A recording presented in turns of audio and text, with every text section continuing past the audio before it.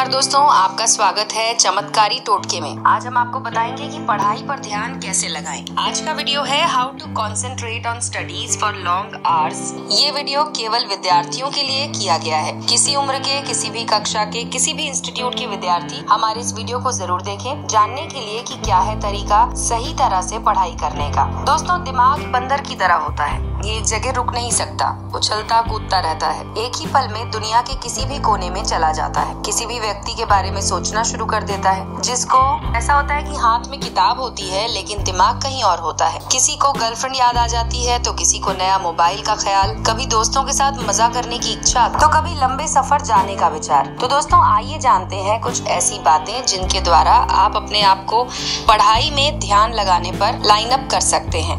यानी कि आपकी मदद करेंगे तरीके पढ़ाई में ध्यान लगाने में। सबसे पहला है सही टाइम टेबल कई बार ज़्यादा मोटिवेट होकर हम कम समय में ज़्यादा टॉपिक कवर करने का टारगेट बना लेते हैं। जब करने बैठते हैं तो होता नहीं। इसका हल है कि बड़ा तो सोचो, पर शुरुआत छोटे से करो। यानी कि आपके दिमाग के इधर उधर जाने की आदत वो एकदम से नहीं जाने वाली। शुरू में पढ़ाई का थोड़ा थोड़ा समय निकाले। धीरे धीरे अपने पढ़ाई में मन आपका लगने लगेगा।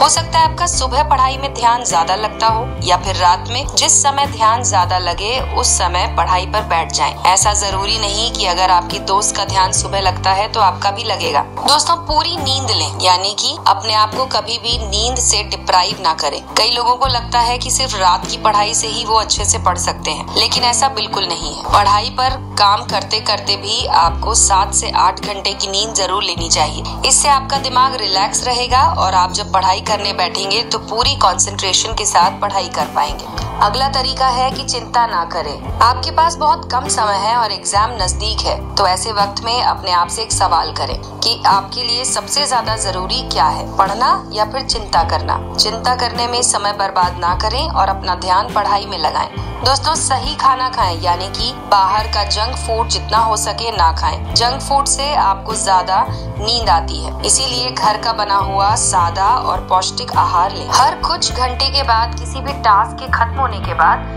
अपने आप को इनाम, यानी कि कोई टॉपिक जब खत्म कर लिया हो तो अपने आप को एंटरटेन भी कर सकते हैं। कोई गीत सुन ले, एक घंटे लगातार पढ़ लिया है तो 10 मिनट के लिए अपने आप को बाहर घुमाने ले जाएँ। तैयार रहे। जी हाँ दोस्तों, पढ़ाई करने से पहले आपको जिस जिस टूल की ज़रूरत है, वो पहले से लेकर बैठे। पढ़ते वक्त बार बार स्केल पेंसिल एक्स्ट्रा बुक लेने के लिए उठे नहीं। एक बार में सारी चीज़ें लेकर बैठे और फिर मन लगाकर पढ़ाई करें। इसके अलावा दोस्तों, आप अपने पास व्हाइट शीट रख सकते हैं। बहुत से विद्यार्थी जब पढ़ने बैठते हैं तो उनका ध्यान कहीं और होता है। इसकी वजह से कि उनका वाई क्लियर नहीं होता। पढ़ना क्यों ज़रूरी है? अपने आप को ये वाई क्लियर करना ज़रूरी है। आप अपनी ज़िंदगी में क्यों पढ़ना चाहते हैं? फाइनेंशियल करियर की वजह से सेल्फ रिस्पेक्ट की वजह से पेरेंट्स को कैसा लगेगा, क्या वजह है जिसके लिए उनका पढ़ना ज़रूरी है तो ये चीज़ें अपने दिमाग में क्लियर कर ले। इसके साथ ही आप अपने दिमाग को मेडिटेट करें, जिससे की आपकी पढ़ने की क्षमता तेज होगी। शुरू में केवल पाँच मिनट ही करें। धीरे धीरे इस समय अवधि को बढ़ाएँ। इस वक्त में आपको